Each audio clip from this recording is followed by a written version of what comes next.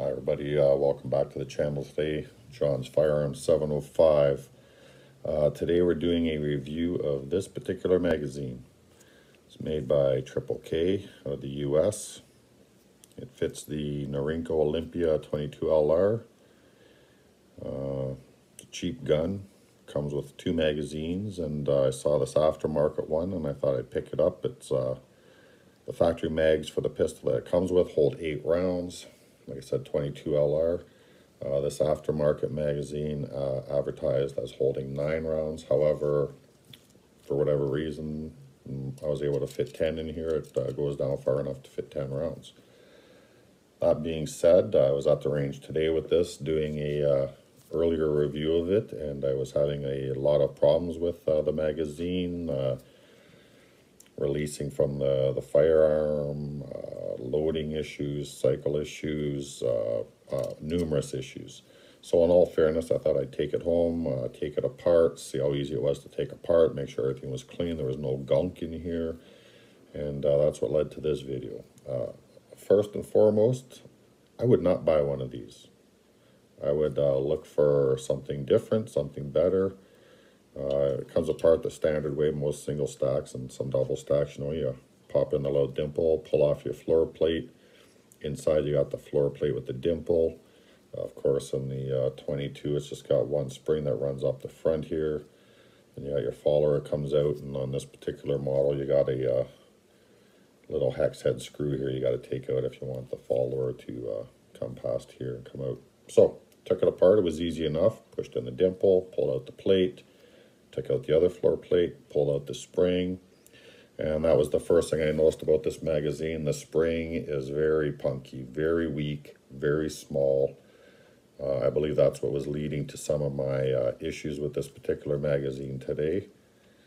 Um, when I went to put it back together, the spring was so weak that the internal floor plate that has the dimple on it just kept wanting to back up into here. It was very hard to hold it in place get this external floor plate on. And then once I did, this little internal plate with the dimple did not want to pop into place to lock this in place. What I had to do was take this piece of coat hanger and jam it in and make sure the back of the floor plate was up and then slide this on. You got to lift it up a bit because it catches the internal floor plate.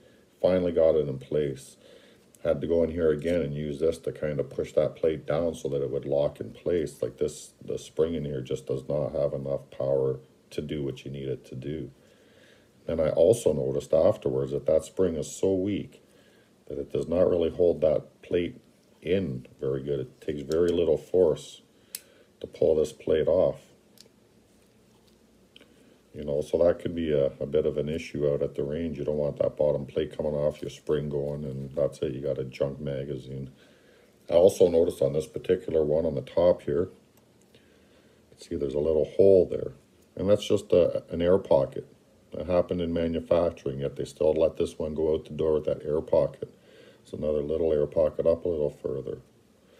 And then also on the end of the follower, I don't know if you can see it there, there's a big piece missing right in the corner here. It's kind of hard to see it on camera. Now, I don't know if it was manufactured like that, if that's the way it's supposed to be, or if a piece flew out sometime. Like I only have, if you know, at most, a couple hundred rounds through this magazine. So, in all in all honesty, in my review, the Triple K magazine for the Norinco 22LR I'm sorry guys, but this is junk.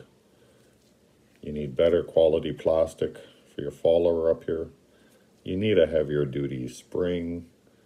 And uh, I think those two issues and maybe a little bit of a redesign on the internal floor plate so it fits inside there a little tighter and doesn't want to wobble around so much.